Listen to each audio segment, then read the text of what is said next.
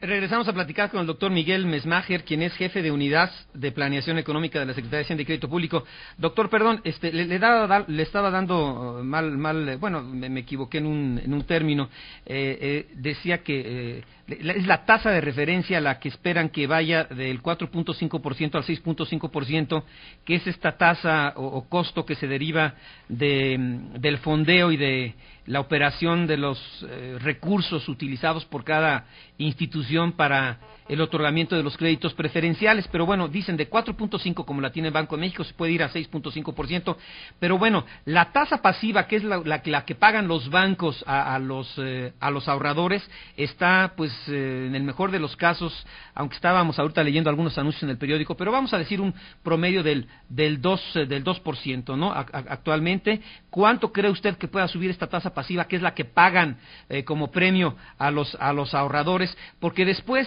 Eh, pues eh, eh, viene la, la, por ejemplo, la tasa de interés, de, de, la, tasa interbancaria de equilibrio, que sería la, la TIE, y a la TIE le suben unos puntos, y esto hace, por ejemplo, que los créditos hipotecarios, eh, pues se vayan, no sé exactamente cómo estén ahorita, pero pues entre 10, entre 9 y el 11, y el 11, y el 11, el 11%. Después está, pues la tasa de interés que cobran algunas instituciones por el uso de tarjetas de crédito, que puede llegar hasta el 40, hasta el 40%. En fin, hay una, pues eh, para la gente común y corriente como su servidor que no entiende de, economía, este, hay una distorsión, una especie de, de, medio anarquía en el mercado. ¿Cuál sería su opinión, eh, doctor? Eh, Oscar Mario,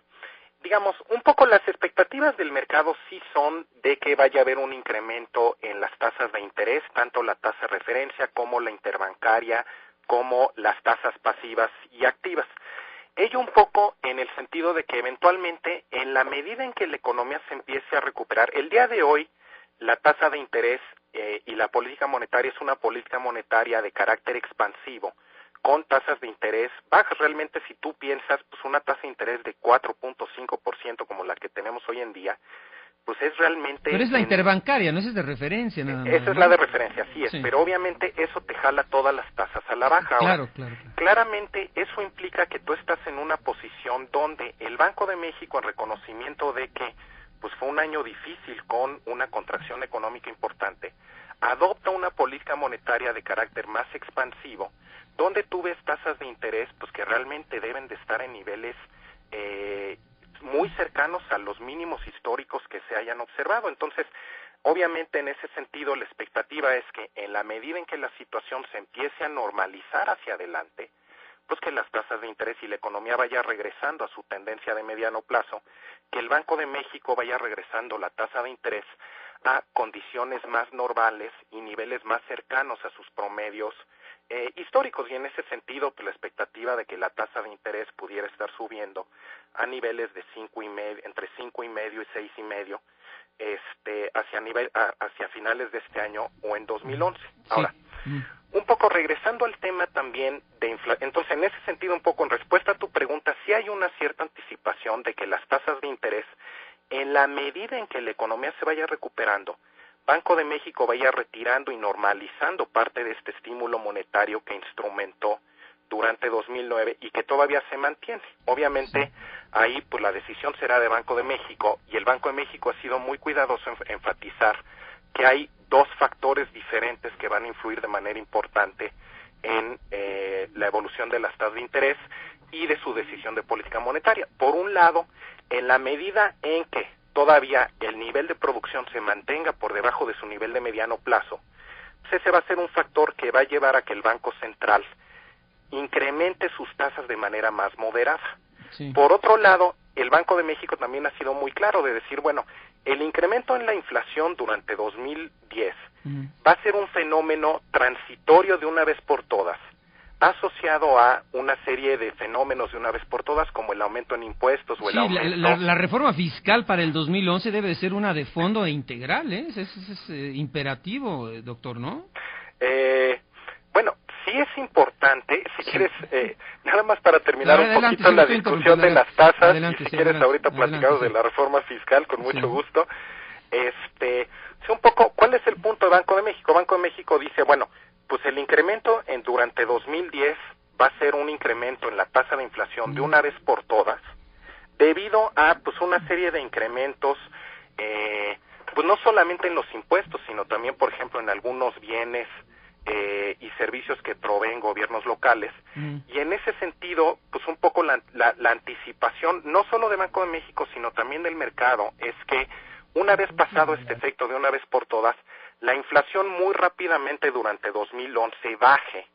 a niveles eh, sustancialmente menores. De hecho, una vez que se aprueba la reforma fiscal en, en noviembre de 2009, y eso es clarísimo en las encuestas de expectativas que levanta el Banco de México, después de que se aprueba la reforma fiscal de 2009, y como eso implica una mayor estabilidad financiera y cambiaria hacia adelante, las expectativas de inflación se revisan a la baja. Las expectativas de inflación, de hecho, para los próximos uno a cuatro años bajan de 4% en noviembre antes de que se aprobara la reforma a un nivel de 3.67% en enero. Es decir, a raíz de la mayor estabilidad implícita en la reforma que se aprueba en 2009, las expectativas de inflación se empiezan a revisar a la baja para el mediano plazo. Obviamente en 2010 va a haber este incremento de una vez por todas,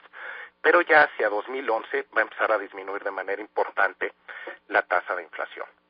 Pues sí, eh, y, bueno, aquí lo, lo, interesante, como usted dice, es la reactivación económica, que sería, eh, pues básicamente, a través del otorgamiento de crédito, ¿no? De, de, volver a abrir la llave de crédito y de darlo con mucho cuidado, bajo una buena, buena supervisión, porque la tasa eh, la tasa